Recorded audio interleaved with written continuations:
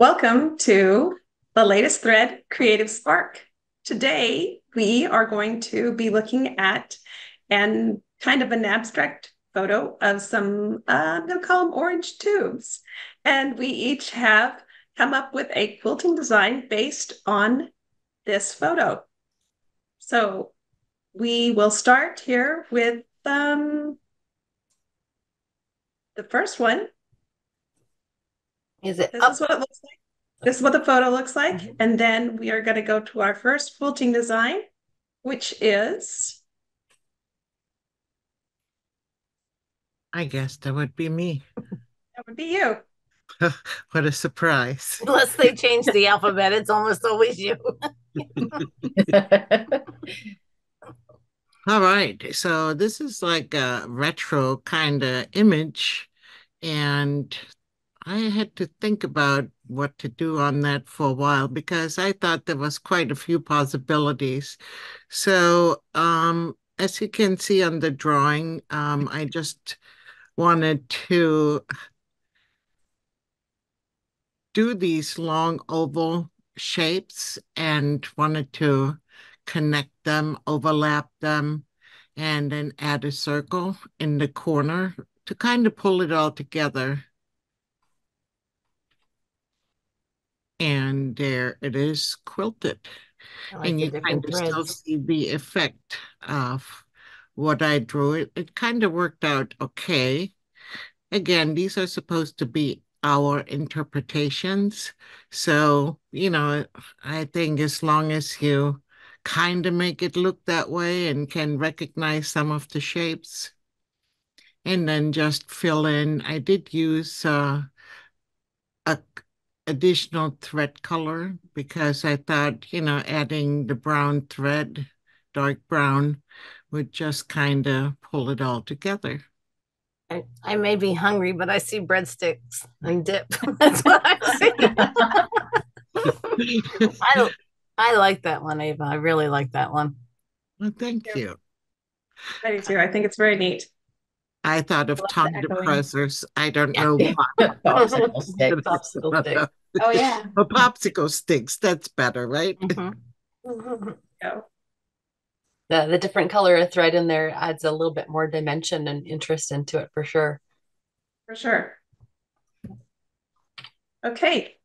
The next one is Jody, I believe. Yeah, I'm like, I, I think that's mine. Uh, um, yeah, so I I thought I wanted them to come from both sides just to change it up instead of all coming from the same side. And I figured I'd actually stitch some of those lines, which isn't always easy, but you know, and they're not perfect, but it worked. And then in the background, I initially didn't know what I would do back there really. And so I just added the lines the other direction because then you get the good contrast to it. Yeah, very cool. Very nice. It doesn't have to be a fancy fill to get the effect of the Mhm. dimension. I think sometimes for me, even the effect that I sometimes can be stronger if you use something plain that's not like for the fill, that's not distracting itself. It Mhm. just is like doing the job of making it be flat. I also like how it's offset, you know, that it's going off the fabric and and the different sizes. Really like that. It's very crisp. It is. It is. I like that a lot. I think it looks really nice. I like how puffy the arcs look. Puffy. Jody's like, there's no puff. Mm. There's flat and less flat. No, with that those are pretty far apart. and all the arcs seem to come forward. I like that. because they're like half inch. That's pretty, Mhm. Oh, okay. yeah.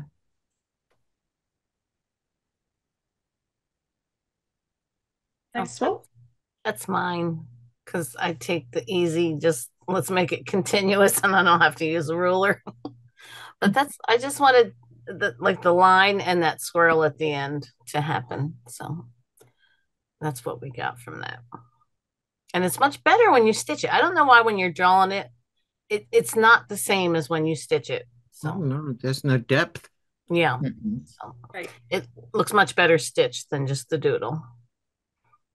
Yeah, we can usually quilt better than we can draw. That too. Yeah, Well, and I think too, look how much you see the relief areas actually, I mean, which is cool. yeah. It is, and for an all over, that would be a great all over pattern. Mhm. I, Yeah. I already started digitizing it.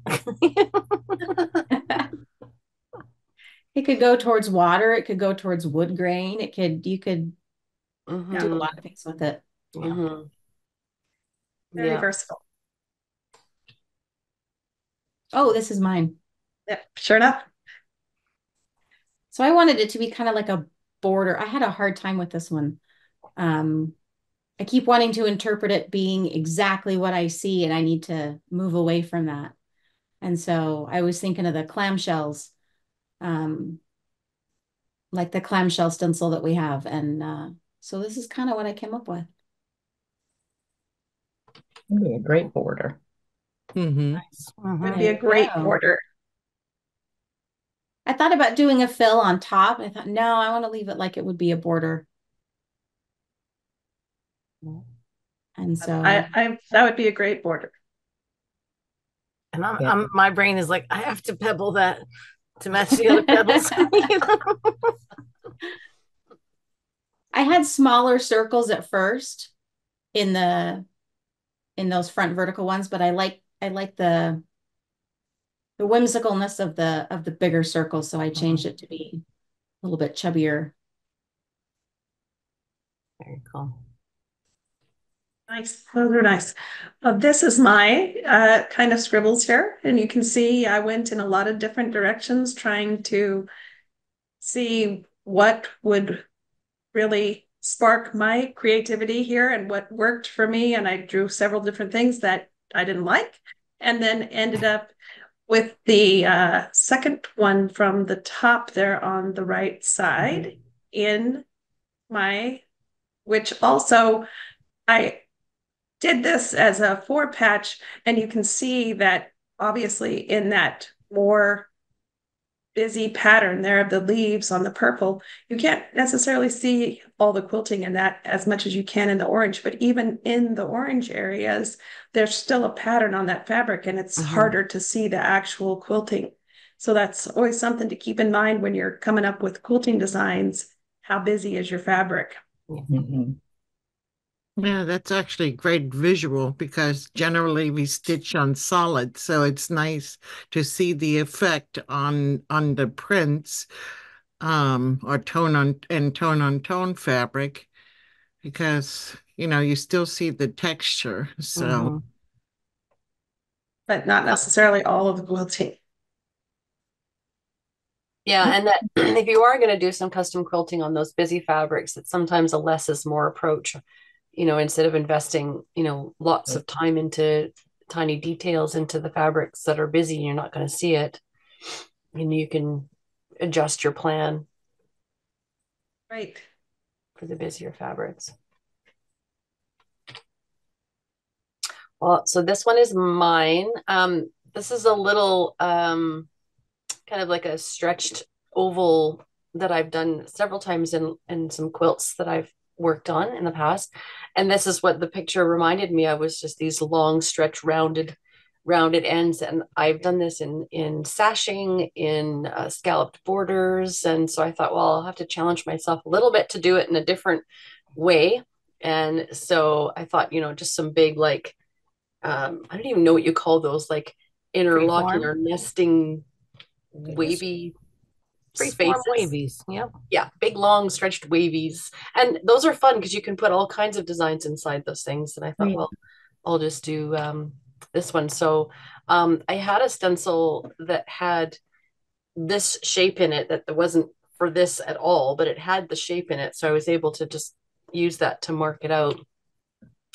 And then um, just plopped my little elongated, whatever you want to call them, my little caterpillars I inside. like this. Yeah. Oh, it's a it's a cute cute way to fill up a fill up a space. That looks cool. Yeah. That'd be Does good. cool. Too. I actually use pink thread and it doesn't even show in my picture. Well, that's a pale pink, Sharon. it's very pale. It was kind of like um a lavendery pink, Mhm. but I thought it would show better than that, but it didn't. But sometimes it's all about the lighting and angle. On a Reminds me of a, a cell diagram from uh like a biology. Yeah, you want you want to say the word nucleus. yeah. um, like the jelly roll race kind of quilt, you know, those the ones that have all those just jelly roll fabrics. If you did that in the up and down instead of across it, that would really add a whole lot of texture and a whole Yeah. different look to a jelly roll race quilt. So that would be Mhm. really cool. Mhm, Yeah. You're right. Cool. And that is all of ours. So that was Jody's picture, right? Was it a Yeah. picture picture or was it no? Just a borrowed picture. Okay. No, it's not a photo of her. Okay. So that's all of our creative designs. We would love to see your creative designs too. Mm-hmm. And for our next episode of the latest Thread Creative Spark, we are going to be looking at this photo. Oh, let me get back there. I closed it.